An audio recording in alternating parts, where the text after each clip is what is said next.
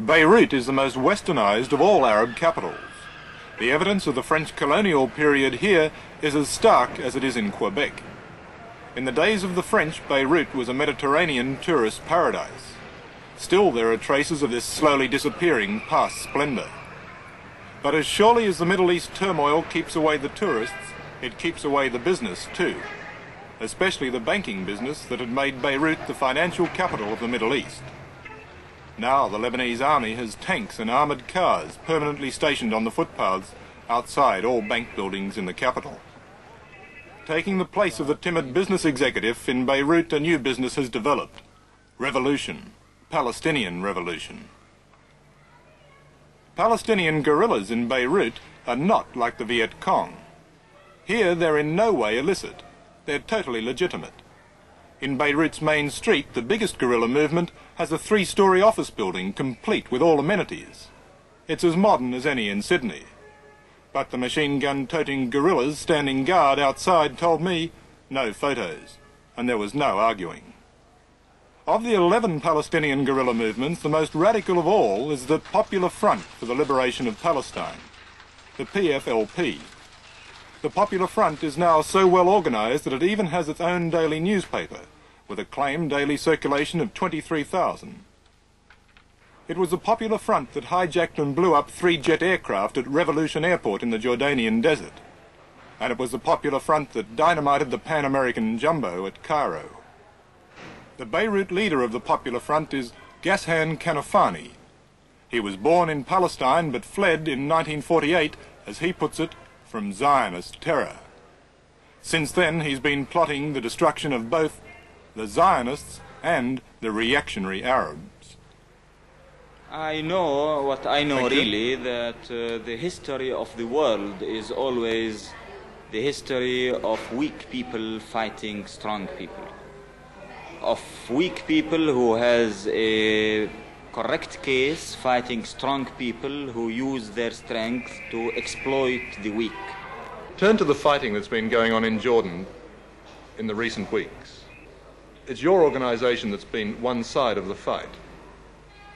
What has it achieved? One thing that we have a case to fight for. That's very much. These people, the Palestinian people, prefer to die standing than to lose its case. We achieved, we achieved proving that the king is wrong. We achieved proving that this nation is going to continue fighting till victory. We achieved that our people could never be defeated.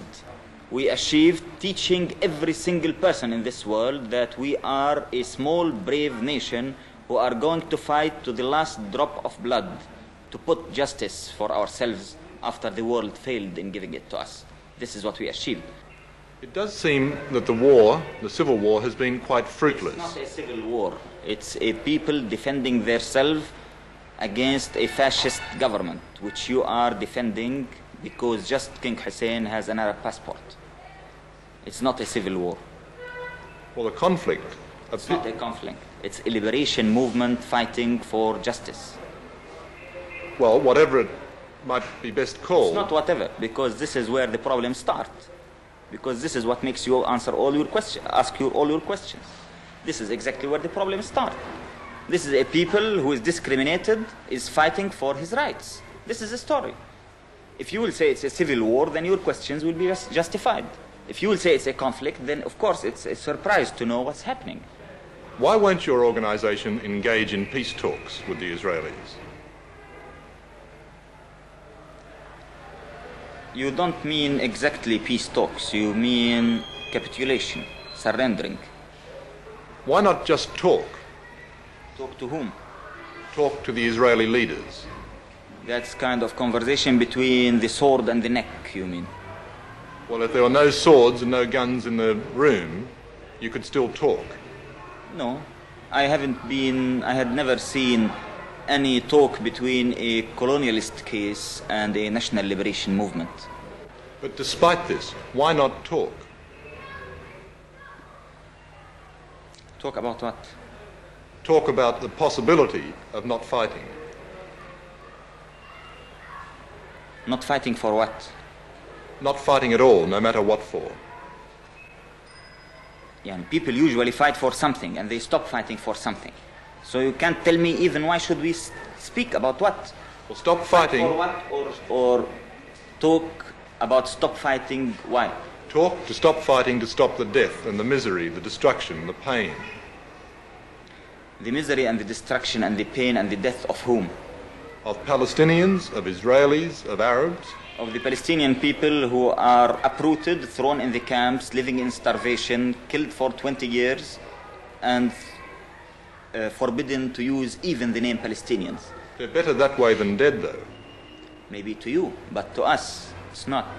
To us, to liberate our country, to have dignity, to have respect, to have our mere human rights is something as essential as life itself. You called King Hussein a fascist. Who else amongst the Arab leaders are you totally opposed to? We consider the Arab governments two kinds. Something we call reactionaries, who are completely connected with imperialists, like uh, King Hussein government, like Saudi Arabian government, like Moroccan government, Tunisian government. And then we had some other Arab governments which we call the military petit bourgeoisie governments. That's like Syria, Iraq, Egypt, Algeria, so on. Just to end with, let me go back to the hijacking of the aircraft. On reflection, do you think that is now a mistake? We didn't make a mistake in hijacking them. The contrast. We did one of the most correct things we ever did.